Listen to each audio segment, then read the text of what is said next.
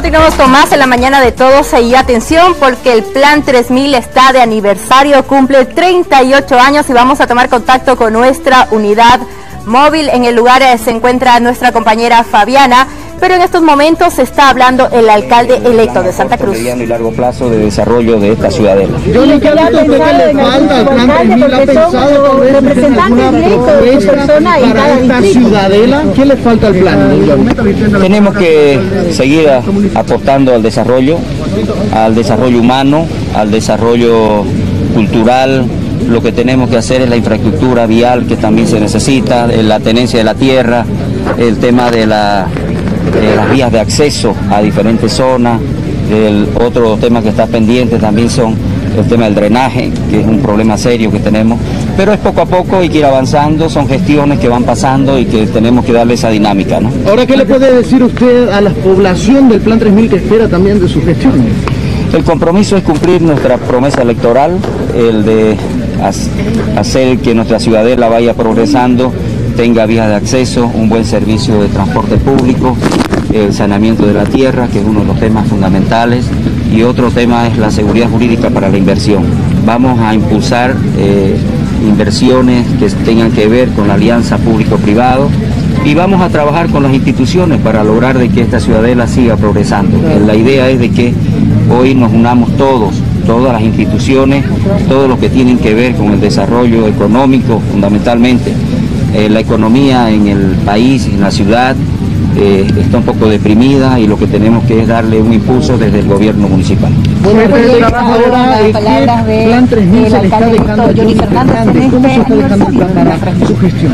Esta es una ciudad en crecimiento, recuerdo hace 38 años cuando entró el río Piraí, yo estaba en tercero medio de esas épocas Vinieron 30 familias, hoy aquí hay más de 350 mil habitantes, hay progreso, hay módulos. Hoy invito al alcalde electo al módulo 201 que se inaugura y debe seguir creciendo y debe seguir desarrollándose con toda una serie de demandas que va a seguir teniendo en los próximos años Santa Cruz. Aquí recibimos 70 mil habitantes al año, lo que demanda inversión, servicios, completar un plan de drenaje, de accesos, construir más escuelas y eso es lo que debe hacer un gobernante. Yo le deseo a Johnny Fernández que le vaya bien, le va bien a él, nos va a ir bien a los vecinos y eso es lo que es la democracia, ganó las elecciones y espero que él y su equipo sigan dando el desarrollo que requiere la ciudad.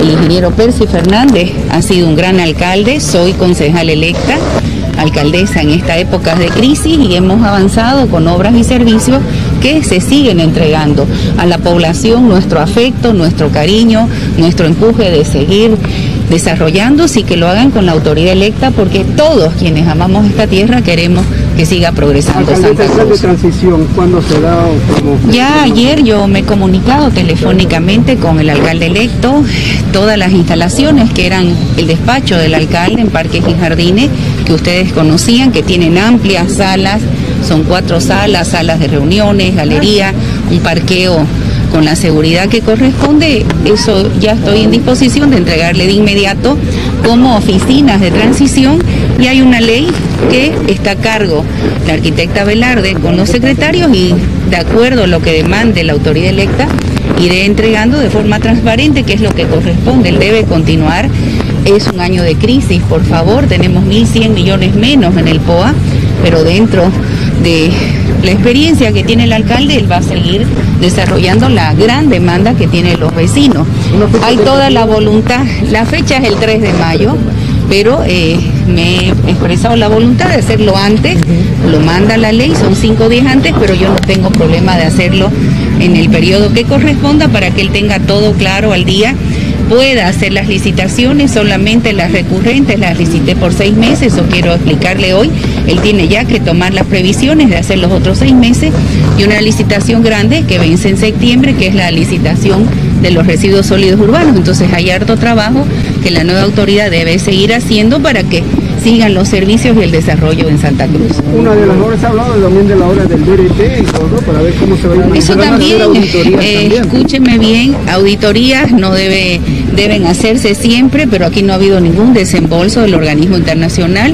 Deberá la autoridad electa ver los mecanismos del por qué no llegaron esos desembolsos y que puedan llegar no solo eso, el del Banco Mundial para desarrollar una serie de proyectos como grandes drenajes en la zona sur que demanda la ciudad, Parque Metropolitano, entonces tengan la seguridad que voy a entregar todo conforme a ley para que la ciudad siga avanzando en sus grandes demandas y la gente siga recibiendo servicios.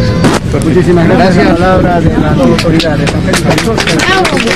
Bien, ahí veíamos, escuchábamos a nuestras autoridades.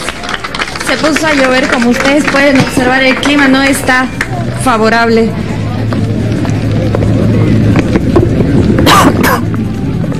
Distintas instituciones eh, también que están llegando hasta este lugar eh, con su ofrenda floral al Plan 3000 eh, que hoy está de aniversario, 38 años. En el lugar se encuentra la alcaldesa interina Angélica Sosa, pero también el alcalde electo. Estamos viendo distintos sectores sociales que ya también se concentran en el lugar para poder rendir su homenaje a esta zona de Santa Cruz.